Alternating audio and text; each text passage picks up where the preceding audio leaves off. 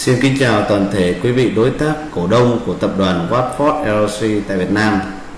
Tôi là Duy Tuấn, đại diện cho tập đoàn Watford LLC tại Việt Nam. Ngày hôm nay tôi sẽ chia sẻ toàn bộ những cái thông tin mới nhất về cái chương trình mua cổ phiếu đặt trước của công ty Kronos, một công ty thứ năm trên nền tảng của tập đoàn Watford LLC mới chính thức trở thành thành viên của tập đoàn Watford LLC gia nhập vào danh sách các công ty trên nền tảng của Watford LLC. Như chúng ta đã biết, ngày 27 tháng 8 vừa qua, tập đoàn Watford LLC đã công bố thông tin về danh tính công ty thứ năm trên nền tảng của chúng ta và đích thân ngài chủ tịch Richard Watford đã đưa tin thông tin về công ty này và chúng ta đã biết được rằng trên cái video mà chủ tịch Richard Watford đã chủ tịch Richard Watford đã thông báo cho chúng ta thì có đầy đủ các cái thông tin liên quan tới công ty Kronos cũng như là một số cái định hướng trong thời gian tới của tập đoàn Watford được đăng tải trên kênh YouTube La Di Tuấn Official và trên kênh của tập đoàn Watford, đấy là kênh Watford LLC chúng ta có thể lên trang tìm kiếm mà chúng ta tìm ra. Và ngày hôm nay, sau khi mà tổng hợp được các thông tin từ bên phía tập đoàn Watford, cũng như là các phân tích của bản thân tôi cũng như một số anh chị em, thì tôi chính thức làm lại cái video này để thông báo tới tất cả quý vị đối tác cổ đông chúng ta nắm thật là rõ về cái chương trình đặt trước mua cổ phần của công ty của công ty Kronos. Chính vì vậy, các bạn hãy theo dõi thật là kỹ cái video này để chúng ta hiểu nắm bắt được và thông tin lại cho đối tác khách hàng của chúng ta thông báo lại cho hệ thống đội nhóm của chúng ta được biết và yêu cầu tất cả những ai đang quan tâm tới công ty thứ năm của Watford LLC các bạn hãy thực sự nghiêm túc theo dõi hết cái video này. Trước khi các bạn đặt những câu hỏi lên trên các nhóm, cũng như là gọi điện hoặc nhắn tin cho tôi, các bạn hãy thực sự nghiêm túc nghiên cứu xem công ty Kronos này có những cái đặc điểm gì, có những cái tiềm năng gì để chúng ta có đáng đầu tư vào trong cái công ty này hay không. Và cái chương trình ưu đãi đặt trước lần này của tập đoàn Watford có những cái ưu điểm gì? Và đến ngày mở bán thì họ sẽ có những cái lợi thế gì để cho chúng ta tham gia vào trong cái đợt này? Thì trong cái video này tôi sẽ thực sự là phân tích chi tiết cho tất cả mọi người và chúng ta hãy cố gắng thật tập trung để chúng ta lắng nghe thì chúng ta mới hiểu được. Nên nhớ rằng chúng ta đang là một nhà đầu tư trong lĩnh vực đầu tư cổ phiếu, chứ không phải là chúng ta đang tham gia vào những cái dự án kiếm tiền khác.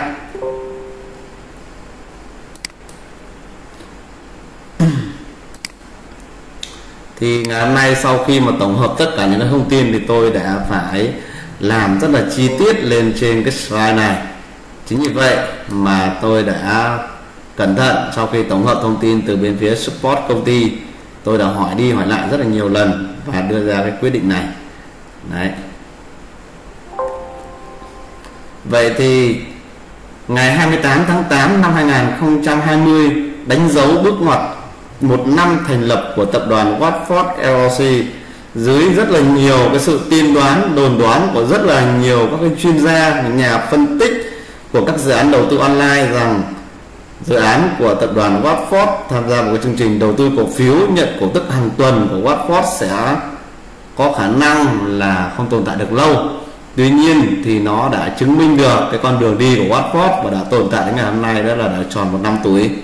Tập đoàn Watford chính thức bắt đầu trên nền tảng online từ ngày 28 tháng 8 năm 2019 và đến ngày 28 tháng 8 năm 2020 đã tròn một năm và tập đoàn Watford đã đưa cái mô hình P2C của ông Richard Watford vươn ra toàn cầu một cách nhanh chóng và mạnh mẽ. Tại Việt Nam ước tính đã có khoảng tầm hơn 5.000 nhà đầu tư đã đăng ký tham gia cùng với cái chương trình đầu tư của tập đoàn Watford và đã và đang sở hữu cổ phần của bốn công ty con của Watford đấy là công ty năng lượng gió, công ty khai thác vàng, công ty tái chế chất thải và công ty dược phẩm từ cây cần sa và sau tròn một năm thì Watford đã chính thức đưa thêm một công ty nữa về với ngôi nhà của mình, đấy là công ty Kronos thì sau khi mà công ty Kronos trở về trở thành thành viên của tập đoàn Watford thì Watford đã đưa ra một số các chương trình thật sự là bất ngờ và nó đã khiến cho các nhà đầu tư của chúng ta trong suốt hai ngày qua cũng đã chăn trở rất là nhiều vậy thì cái chương trình đó như thế nào thì tôi sẽ đi chi tiết vào ngay sau đây.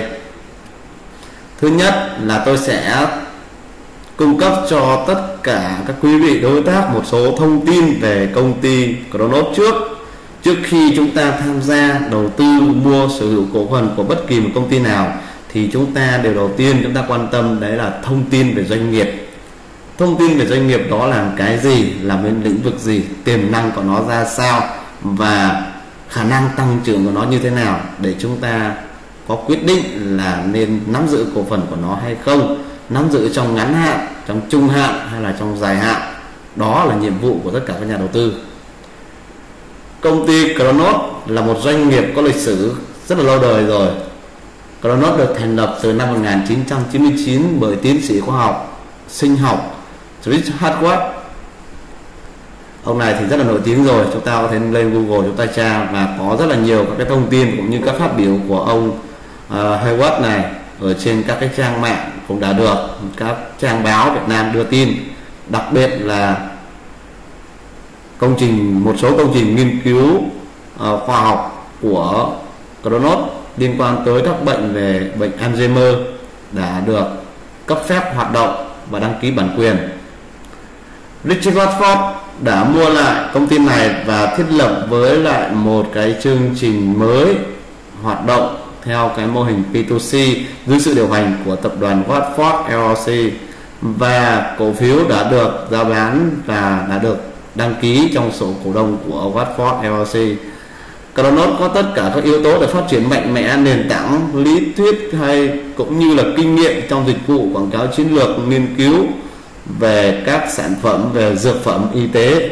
Richard Watford đã mua lại quyền mua lại nhãn hiệu của Kronos và ừ, hầu như là mua lại toàn bộ công ty hoạt động tài trợ đã bắt đầu và triển vọng về lợi nhuận của công ty hiện tại đang thực sự rất là lớn theo thông tin mà tôi nắm được thì công ty đã có các đối tác là tư nhân cũng như các công ty dược phẩm để bán lại các công thức sản xuất, các cái sản phẩm về thực phẩm chức năng, về thuốc cũng như là về vaccine.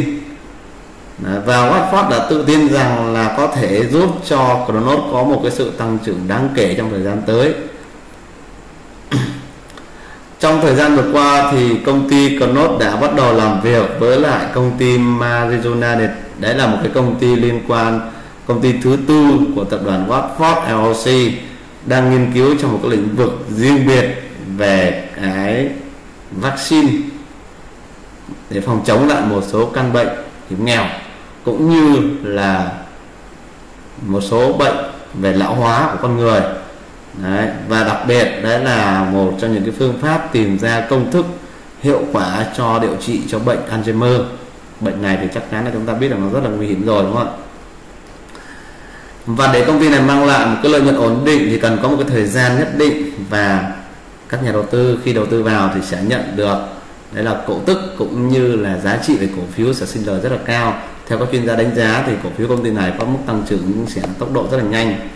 Đấy, và ở cái giai đoạn này thì chủ tịch Richard Watford đã quyết định đưa ra một cái chương trình đấy là bán chất cổ phiếu theo mô hình mới, đó là mô hình kinh doanh P2C và tại đây chúng ta có được một cái cơ hội mua được cổ phiếu của công ty với một cái giá ưu đãi trong cái thời gian này.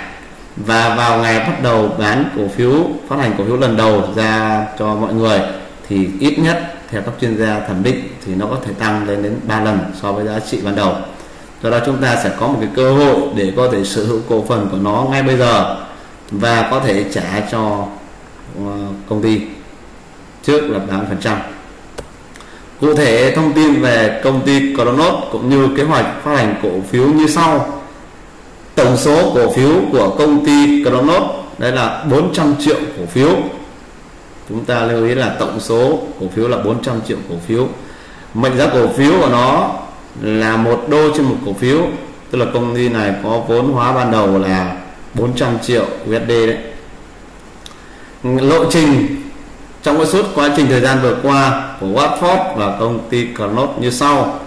Thứ nhất là ngày 27 tháng 3 năm 2020 Watford LLC đã chính thức mua lại công ty Cronos ngày 19 tháng 6 năm 2020 Hội đồng Quản trị họp và phát hành quyết định phát hành cổ phiếu ngày 14 tháng 8 năm 2020 đăng ký với Ủy ban Chứng khoán Nhà nước Hoa Kỳ. Ngày 27 tháng 8 năm 2020 mở các chương trình đặt mua trước cổ phiếu với giá ưu đãi. Ngày 25 tháng 11 năm 2020 bắt đầu chính thức mở bán cổ phiếu tự do ra công chúng cho tất cả các nhà đầu tư trên nền tảng của công ty, của tập đoàn Watford như chúng ta đây được mua. Và những nhà đầu tư chưa biết đến Watford thì trong thời gian 90 ngày này sẽ có cơ hội mua được cổ phiếu công ty này.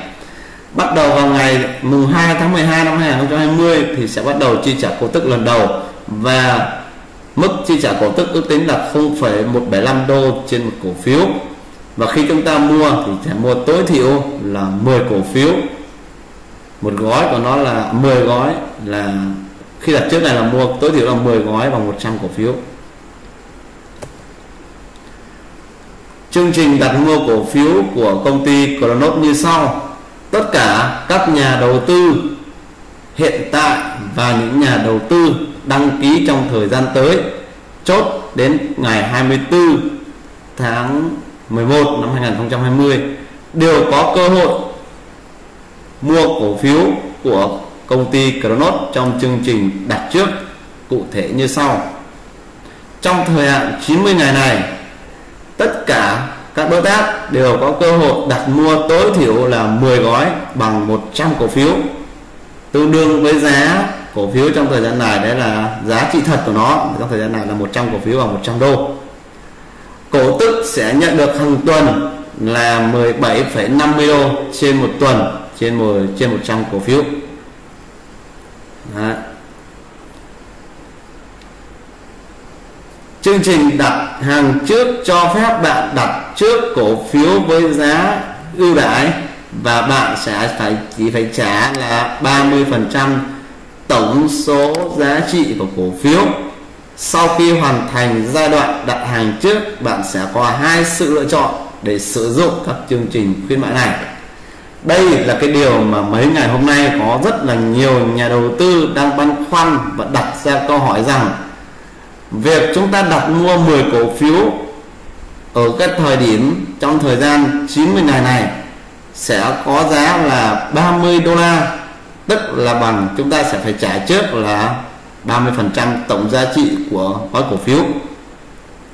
Bạn muốn mua được 10 gói cổ phiếu này thì bạn sẽ phải nạp tiền vào bên trên tài khoản của mình. Sau đó, bạn sẽ tiến hành đặt mua. Tôi sẽ ví dụ cho mọi người xem. Ở giao diện mua cổ phiếu thì chúng ta sẽ click vào công ty Cronos. Sau đó chúng ta sẽ nhìn thấy một cái giao diện như thế này. Tôi sẽ phóng to lên cho mọi người xem đúng không ạ? Và chúng ta sẽ xem được ở đây là cái phần máy tính máy tính để cho chúng ta xem. Chúng ta sẽ mua tối thiểu là 10 gói. Ở đây là 10, 10 gói nhé Đấy, chúng ta không biết tiếng Việt ở tiếng Anh thì chúng ta mở chương trình Việt Chrome chúng ta bấm dịch sang tiếng Việt. Và giá hiện tại là 30 đô la cho 10 gói tương đương với 100 cổ phiếu tức là 0,3 đô la trên một cổ phiếu. Và 30 đô la này là chúng số tiền chúng ta sẽ đặt trước thanh toán trước cho công ty là 30 phần trăm phần đảm bảo lợi nhuận này là đảm bảo lợi nhuận sau khi phát hành ra công chúng lần đầu trên nền tảng của Watford LLC cái phần này lát nữa tôi sẽ phân tích chi tiết hơn. Cổ tức nhận được hàng tuần cho 100 cổ phiếu này đấy là 17,50 đô la tương đương với 1 0,175 đô trên một cổ phiếu và sau khi chúng ta đặt mua thì chúng ta sẽ nhìn thấy được là số lượng chúng ta đã đặt mua nó sẽ nằm ở đây. Lịch sử chúng ta mua bao nhiêu lần thì nó sẽ nằm ở đây. Có những lúc chúng ta sẽ không nhìn thấy được cái số này bởi vì là cái dữ liệu này có thể có những lúc nó rất là nặng nó không loát lên được. Đấy, nó sẽ không loát lên được. Giống như khi của tôi đây cái phần số lượng đây nó đang quá là nặng nó không loát lên được. Như vậy mà à, cần có một cái thời gian nhất định mạng khỏe nó thì nó mới lót lên được. Chúng ta cũng phải kiên nhẫn chúng ta chờ. Đấy. Vậy thì khi mà chúng ta đặt trước với số lượng là tối thiểu là 10 gói bằng 100 cổ phiếu và chúng ta thanh toán trước là 30 phần trăm, thì đến ngày 25 tháng 11 năm 2020 công ty chính thức phát hành cổ phiếu bán tự do cho nhà đầu tư. Lúc này, tất cả những nhà đầu tư đã đặt mua trong thời gian 90 ngày này sẽ có hai sự lựa chọn như sau. Đây là cái điều mọi người cực kỳ quan tâm và chúng ta cần phải xem cho thật kỹ nhá. Thứ nhất, lựa chọn số 1 bạn có khả thể bán những cổ phiếu này với giá thực tế của chúng sau khi kết thúc chương trình đặt hàng trước với giá một cổ phiếu trên bằng một USD Đấy. một cổ phiếu bằng một USD nhé Đấy. tôi xin nhắc lại là sau khi bạn đặt mua và thanh toán trước cho công ty 30% thì đến ngày 25 tháng 11 năm 2020 bạn có thể bán lại cổ phiếu của công ty này với giá của nó là một cổ phiếu bằng 1 đô la. Đấy. lựa chọn số 2 lựa chọn 1 là bạn sẽ bán với giá một cổ phiếu 1 đô la và bạn không cần phải thanh toán cái 70% 70% còn lại nhé. Bạn sẽ được công ty cam kết tăng gấp 3 lần cho mọi người mà lựa chọn số 2 là bạn sẽ giữ lại và bắt đầu nhận cổ tức từ số lượng cổ phiếu mà bạn đã đặt mua. Trong trường hợp này, bạn muốn để lại bạn nhận cổ tức thì bạn sẽ cần phải thanh toán giá trị còn lại của cổ phiếu là 70% Đấy. tức là nếu như chúng ta bán luôn thì chúng ta sẽ bán một cổ phiếu và bằng một đô la chúng ta sẽ x 3 tài khoản lên nhân 3 tài khoản lên. Chúng ta bỏ ra 100 chúng ta mua 100 cổ phiếu. Thanh toán là 30 đô la, thì lúc đó chúng ta sẽ bán được 100 đô la. Chúng ta sẽ lời được là 6 70 đô la, đúng không ạ? Còn nếu như chúng ta để lại và bắt đầu nhận cổ tức từ số lượng cổ phiếu này, thì chúng ta sẽ cần phải thanh toán toàn bộ cái giá trị còn lại của cổ phiếu là 7% tức là 7% của số lượng chúng ta đặt mua đấy chúng ta lấy ví dụ. Ví dụ bây giờ bạn đã mua 100 cổ phần của công ty với mệnh giá với giá là 30 đô la. Sau khi đặt hàng trước thì bạn sẽ cần phải thanh toán thêm 70 đô la nữa để mua lại toàn bộ số tiền số cổ phiếu mà bạn đã đặt cược. Trước đó là 100 bằng 100 đô la. Đấy. Và 100 cổ phiếu này sẽ tạo ra lợi nhuận là 17,5 đô la sau mỗi 7 ngày tức là 0,175 đô cổ tức trên một cổ phiếu. Và ngày 25 tháng 1 sẽ chính thức mở bán cổ phiếu tự do. Đặc biệt là giá cổ phiếu sẽ tăng ít nhất 3 lần và tăng lên nhiều lần sau đó. Có rất là nhiều anh chị em sẽ rất là bất ngờ với cái thông tin này. Và chúng ta đang đặt ra rất là nhiều vấn đề là vì sao nó lại có cái chương trình như vậy đúng không ạ? Vì sao nó lại có cái chương trình như vậy?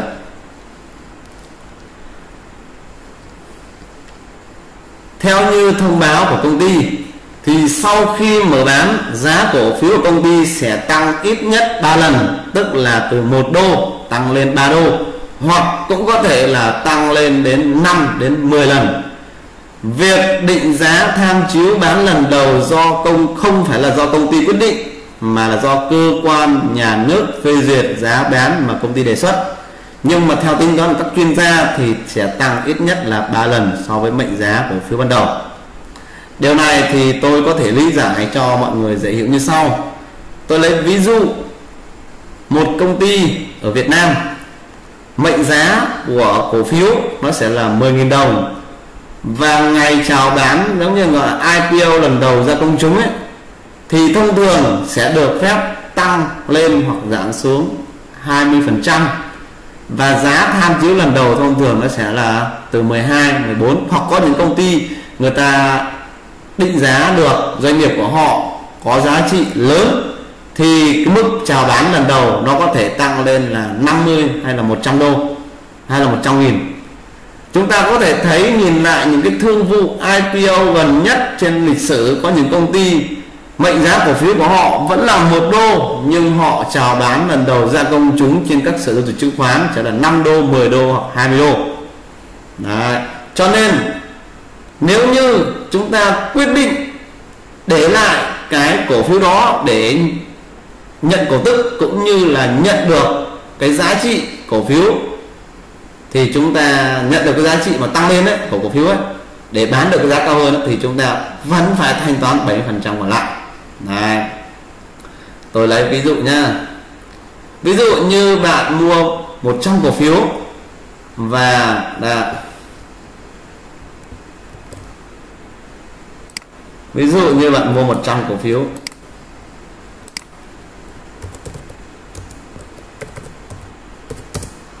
Nếu như một, bạn bán ra trong cổ phiếu bằng 30 đô la.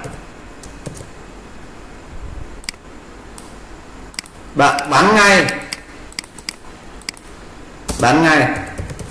Sau khi mở bán thì sẽ thu về 100 đô la. Đấy. Được chưa? Trường hợp thứ hai.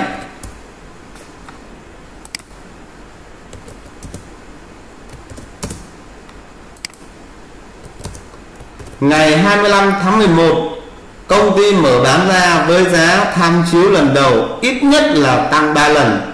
Ví dụ như là 3 đô hay là 5 đô, hoặc cũng có thể là 8 đô.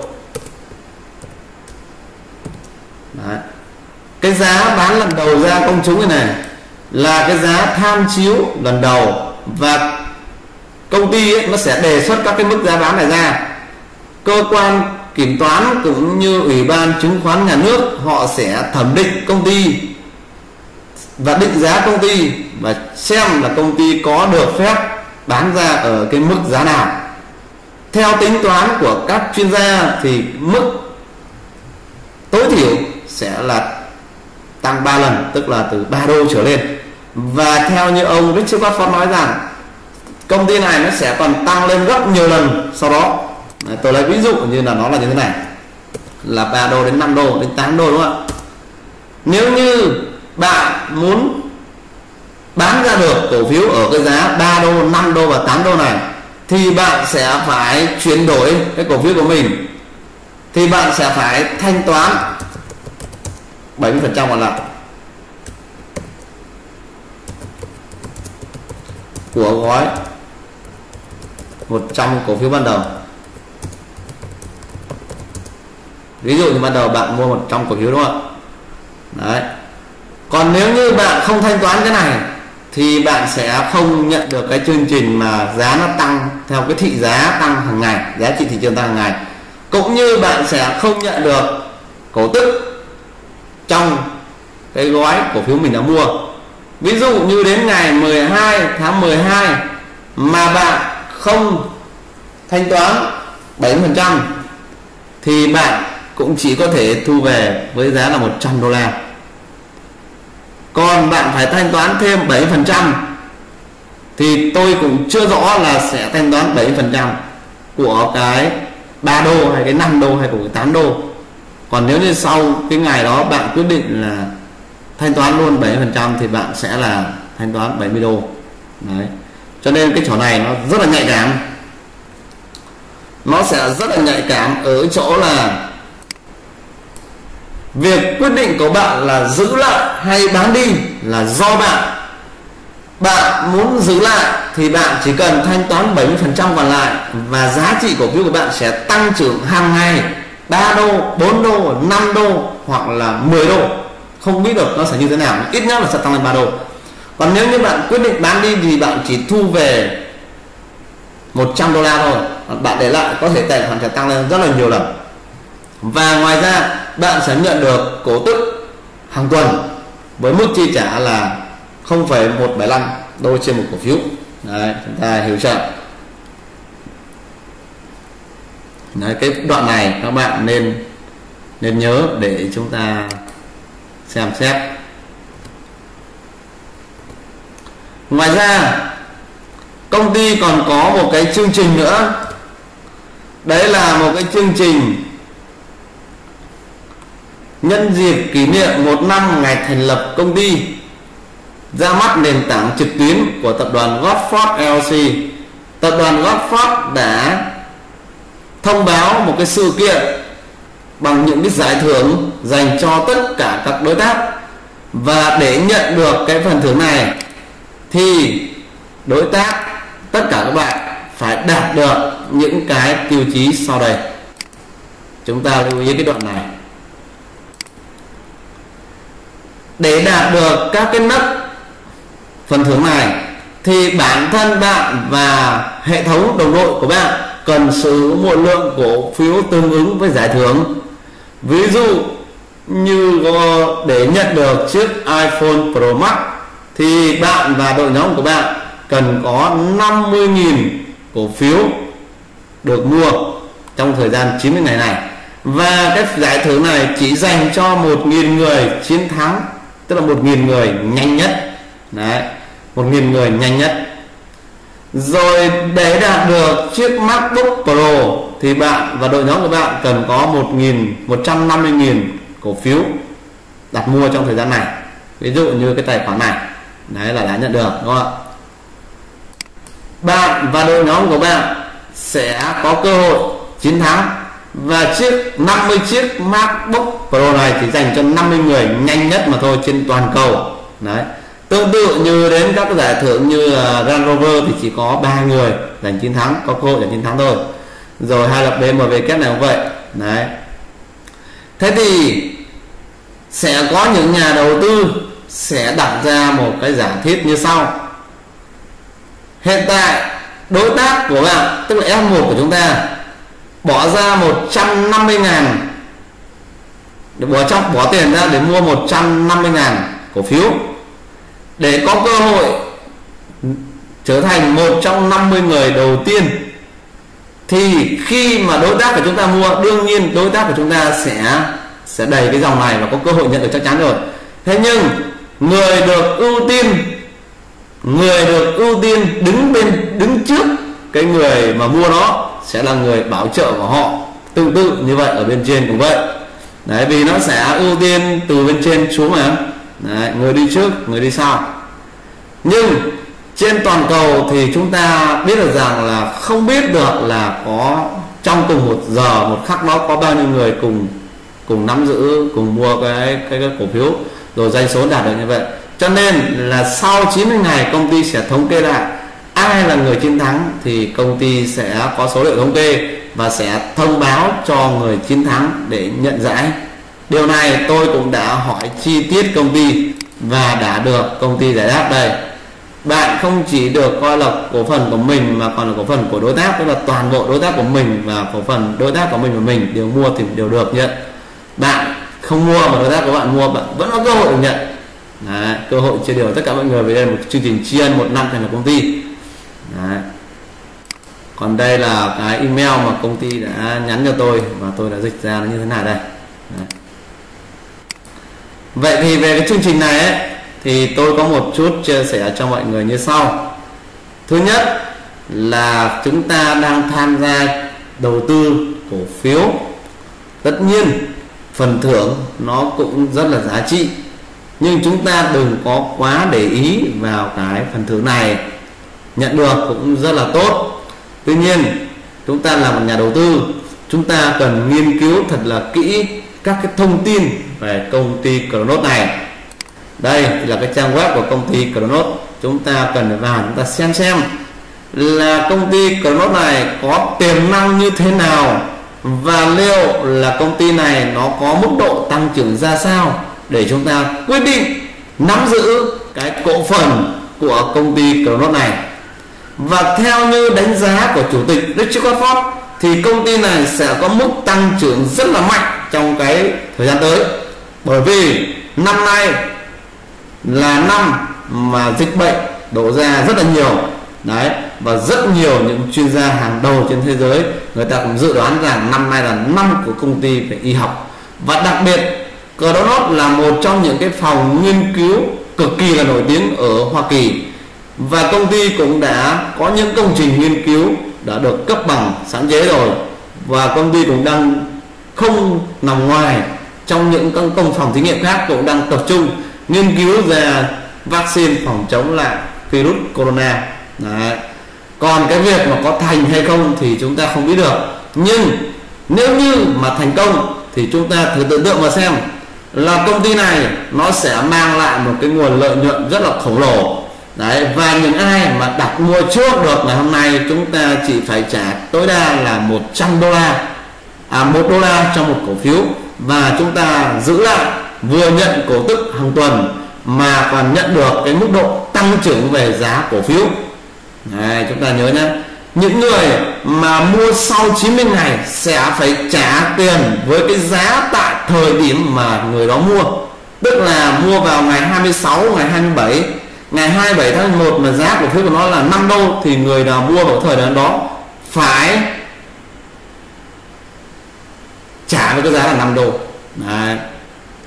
còn những người mà mua trong 90 ngày thì chỉ phải trả với cái giá là một đô la Mỹ để giữ lại cổ phiếu của mình, để nhận cổ tức hàng ngày, hàng tuần. Còn nếu như mà không muốn giữ lại nữa, không thích ừ, nhận cái giá trị tăng trưởng của công ty này trong tương lai cũng như là nhận cổ tức hàng tuần nữa, thì mọi người bán đi chốt lời với cái mức độ, mức giá là 100 đô la cho 100 cổ phiếu mà mình đã mua ban đầu, mà mình chỉ phải trả có 3% tức là Watford muốn dành tặng cho tất cả mọi người có ưu đãi là mua thấp hơn 3 phần, thấp hơn giá trị thực của nó, tức là chỉ bằng 1 phần 3 thôi. Chúng ta hãy nghe lại cái đoạn video này. Cái video này để chúng ta hiểu rằng có một đoạn của tịch chủ Đức Chicago nói rằng là công ty quyết định là chỉ bạn chỉ cần thanh toán 30% thôi. Là chúng tôi sẽ tôi sẽ mở lại cho mọi người xem đoạn này Hôm nay tôi thông báo về việc bắt đầu mở bán trước Tức là ra bán cổ phiếu trước khi bán. Bạn có một cơ hội tuyệt vời để đem trước cổ phiếu của công ty với mức giá thấp hơn 3 lần so với giá trị thật của chúng. Đấy chúng ta chỉ phải trả thấp hơn 3 lần so với giá trị thật của nó, tức là 30% Đấy, tức là 30% và sau ngày 25 tháng 11 chúng ta muốn chốt lời thì chúng công ty sẽ mua lại với cái giá là 1 đô la. Còn nếu như chúng ta muốn giữ lại để nhận giá trị tăng trưởng thì chúng ta thanh toán nốt 70% còn lại. Sau đó bạn sẽ cần phải quy đổi chúng? Bạn sẽ trở thành một cổ đông của công ty và ngay lập tức nhận cổ tức sau khi giai đoạn mở bán trước kết thúc. Đó, tức là bạn sẽ hoàn thành nghĩa vụ của mình đấy là thanh toán nốt 70% còn lại để trở thành cổ đông chính thức và nhận cổ tức hàng tuần. Giá trị của cổ phiếu này sẽ tăng không ngừng trong tương lai. Vì vậy, ưu đãi này là có hạn. Do đó, bạn cần phải hành động ngay lúc này nếu bạn muốn trở thành cổ đông của Cronus. Đấy, đấy là cái phần mà tôi muốn nhắn nhủ lại cho mọi người.